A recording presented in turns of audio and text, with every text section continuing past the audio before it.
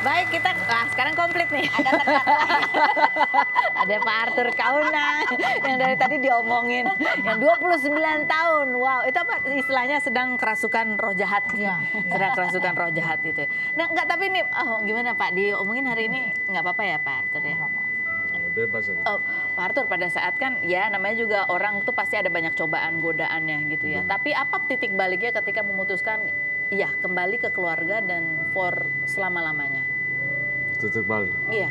Ya ketika salah seorang dari wanita yang saya gauli itu dia mengalami berbadan dua. Terus? Ya di situlah saya benar-benar eh, memutuskan untuk bertobat total untuk kembali kepada keluarga. Jadi selama 29 tahun belum ada yang ngaku hamil. Tapi tahu pas itu ada yang ngaku hamil, tapi itu juga kan nggak nyata ya. Cuman Iya. ngomong toh, cuman ngancem kayak ngancem. Tapi itulah yang menjadi titik balik Iya, Bapak kenapa? itu. Kenapa justru itu yang jadi titik balik? Ya, Apanya? emang udah waktunya sih. Enggak, maksudnya aku pengen tanya, kenapa? Apa yang dirasakan waktu itu? Ketakutannya. Ya ada rasa takut juga ada em, ya sebenarnya intinya sih takut kepada Tuhan ya. Takut kepada Karena ya sejak kecil memang saya diajarkan untuk selalu hmm, beribadah. Namun ya karena kita manusia eh, terlalu banyak pengaruh dari dunia ya apalagi dunia saya kan dunia panggung Iya. Dan dikelilingi Iya. wanita-wanita Iya. ya. Karena wajah saya ya lumayan lah. Iya. gitu. Ya. Iya, iya, iya. Ya Ya, kan, itu- paham, paham. itu- Banyak grupis-grupis. Oh, Oh, yang Iya. mereka nggak perlu dikejar ya, melemparkan diri gitu kan? Oh, Iya, itu lempar kan. ke mana Mas? menyerah Menyerahkan diri, Oh. oh ya, menyerahkan Iya. diri seperti itu kan. Jadi itulah kenyataannya. Jadi sebelum-sebelumnya nggak pernah takut, nggak pernah kepikiran gitu, nggak pernah. Ya bukan takut, namanya juga terlena ya seperti mabuk gitu. Hmm, Oh jadi nggak ingat, kadang-kadang nggak nggak ingat, nggak kadang nggak ingat, iya. Jadi pernah nggak momen ketika melihat istri di rumah, lihat anak-anak, tuh sebetulnya ada rasa kayak Ya ada, ada ada itu. Cuma lebih kuat ke ininya, keluarnya. keluarnya gitu. Nah, untuk akhirnya memutuskan untuk kembali itu kan juga sebuah proses ya. Betul. Apa yang membuat kemudian mem- menguatkan itu supaya balik dan udah tutup gitu? Mungkin itu kedewasaan ya, kedewasaan saya ke dalam perjalanan saya, sehingga saya melihat, waduh ini enggak, ini sepertinya eh, nggak ada nggak ada untungnya gitu, Ba- bahkan menu- ya tidak ada masa depan yang baik gitu, karena saya sudah bisa melihat jauh ke depan akan eh, nasib daripada istri dan anak-anak yang masih kecil pada waktu Tessa masih kecil, adik-adiknya masih kecil.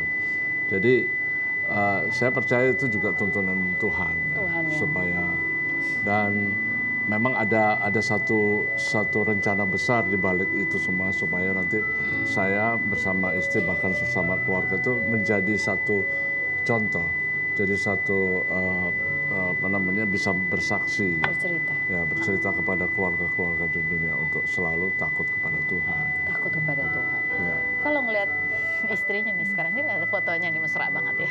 ya, Istri yang yang ya banyak mengalami hal-hal menyakitkan gitu ya. ya. Pernah menyampaikan apa? Eh, ya saya selalu eh, mohon pengampunan gitu ya, terutama Tapi di hadapan em, anak-anak juga. buat saya sama adik-adik, jadi kan saya yang paling tua gitu ya. Em, orang itu nggak bisa dilihat dari kata-kata aja, tapi perbuatannya. Hmm. Dan papa dari sekarang udah berapa tahun ya? Dari 29 tahun yang lalu, eh Iya iya, setelah 29 tahun itu. sudah berubah. Apa yang kamu lihat? Berubah saat berubah totalnya adalah dulu kayaknya disenggol dikit senggol bacok gitu ya. Senggol marah gitu. Kalau sekarang luar biasa sabar lebih sabar dari mama yang mama tuh kalau mama sampai sekarang masih bertahan cerewetnya gitu kan masih bertahan galak ya gitu tapi kalau papa enggak berubah total itu yang saya rasakan sebagai anak bahwa papa berubah papa mau menerima untuk kembali ke keluarga. Gimana perlakuan papa ke mama? sabar banget menghadapi mama. Mungkin kalau dulu eh, alasannya papa adalah nggak bisa menerima dengan kelakuan mama yang mungkin dianggap papa nggak menghargai papa menginjak menginjak-injak papa sebagai kepala rumah tangga.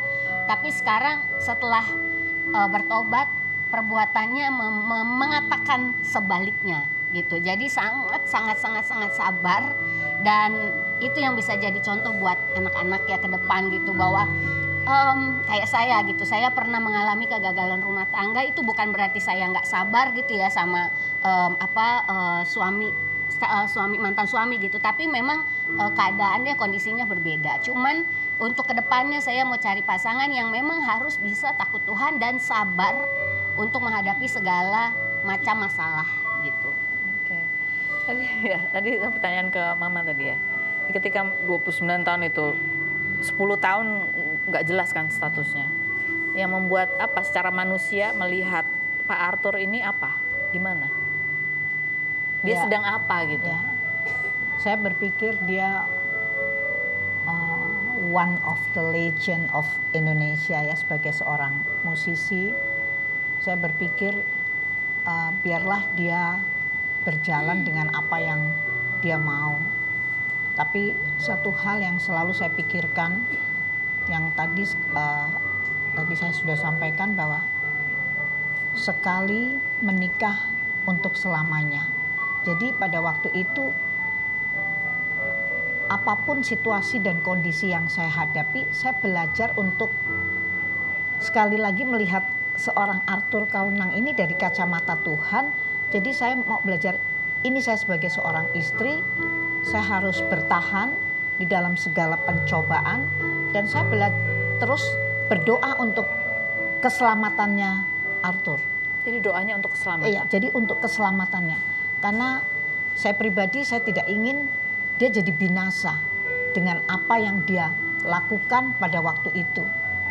Sebenarnya kan kita Iya. sebagai eh, keluarga eh, suami adalah kepala, Iya. istri adalah leher. Jadi leher ini penopang. Selama kepala ini mempunyai leher, dia akan tetap bisa berdiri. Selama leher ini lemah, kepala ini tidak akan bisa berdiri tegak seperti sekarang. Jadi ya tugas eh, istri sih menurut saya memang benar sebagai penopang doa, penopang eh, keluarga, penopang suami gitu ya. Cuman ya eh, kembali lagi ke kepalanya. Kalau kepalanya kayak papa saya mau bertobat kembali kepada Tuhan, pasti istrinya juga akan nurut, akan akan kembali semuanya keluarganya menjadi utuh. Ma pernah nggak ada masa di mana nih? Ya ampun, 29 tahun nggak jelas banget ini. Aku masih muda ya gitu. Butuhlah pendamping apa sayang-sayang gitu. Ada nggak sih kayak gitu? Enggak, Nggak ada. sama sekali enggak. Butuhlah tempat bersender, nyender Enggak. gitu. Capek enggak. banget lelah Ya, gitu. Saya sama Tuhan saja. Ah Tuhan. Ya. Kalau pada saat cemburu, kalau lagi cemburu gitu. Ya, ya itu manusiawi ya, cemburu ada. Tapi saya coba uh, belajar untuk uh, saya hilangkan itu semua. Saya lebih fokus kepada anak-anak yang sudah saya uh, terima dari uh, Arthur ya, dari pernikahan saya dengan Arthur. Jadi saya meli- uh, le- sebaiknya saya lebih baik me- Fokus ke situ uh, aja. fokus ke anak-anak karena anak-anak kan juga titipan Tuhan ya. Oke. Jadi saya harus pelihara baik-baik. Nah sekarang kan udah balik lagi nih kan kemarin gitu.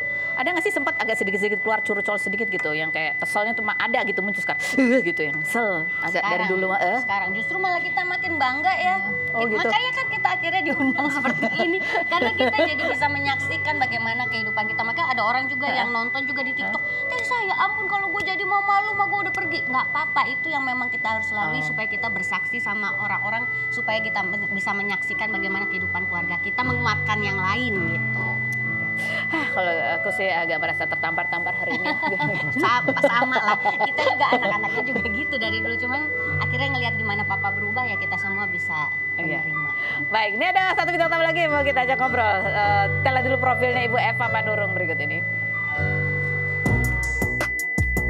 Eva Manurung, perempuan kelahiran 1963 yang merupakan penyanyi era 1980-an dengan salah satu single berjudul Kupu Jadi Kau Kekasih ini kerap mengunggah kemesraan dengan kekasih berondongnya yaitu Jordan Ali yang memiliki perbedaan usia 29 tahun namun kerap mengatakan perbedaan usianya 23 tahun. Hubungan Eva dan Jordan Ali ini ditentang oleh anaknya Eva yaitu Feby Carol dan Virgon hingga Virgon memutuskan untuk berhenti memberi uang bulanan dan Feby yang mengaku malu.